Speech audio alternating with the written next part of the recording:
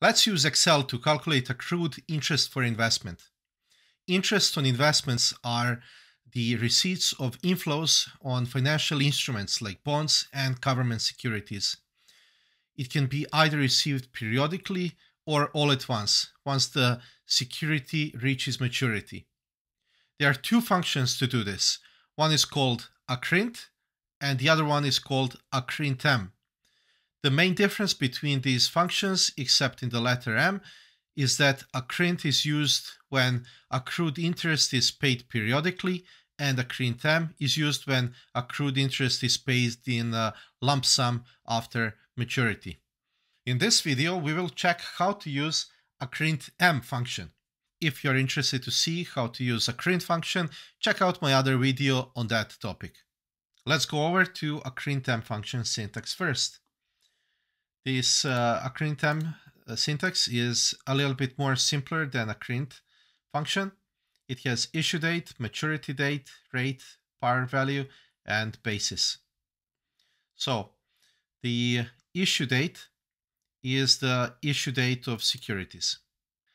The settlement or maturity date is the securities maturity date. Then uh, rate is the securities annual uh, interest rate. We have uh, par value is how much money we put in into investment. The default value is 1000 and the basis is optional. This is the type of day count to use and it can be 0, 1, 2, 3 or 4 depending on what you're interested in. 0 is default and it's US day count basis. One is actual over 360, two is actual over 360, three is actual over 365, and four is European 30 over 360. And now let's see the result. So let's type the function and connect all of these. And press enter. So you can see that your payment at maturity will be $120.56. By altering parameters, you can play and see how your result will change. For example, we can change the maturity date to somewhere later.